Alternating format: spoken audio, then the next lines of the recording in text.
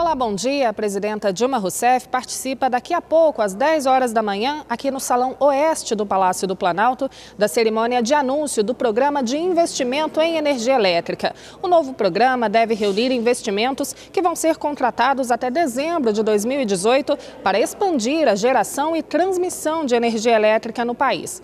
Às três da tarde, a presidenta recebe atletas e dirigentes de clubes de futebol também aqui no Palácio do Planalto. Bom, e ainda nesta terça-feira, o Ministério da Saúde lança às 11 horas da manhã a campanha nacional de vacinação contra a poliomielite e atualização da caderneta infantil. O objetivo é manter o Brasil livre da paralisia infantil, além de colocar em dia o esquema de vacinação das crianças menores de 5 anos. Ana Gabriela Salles, direto do Planalto.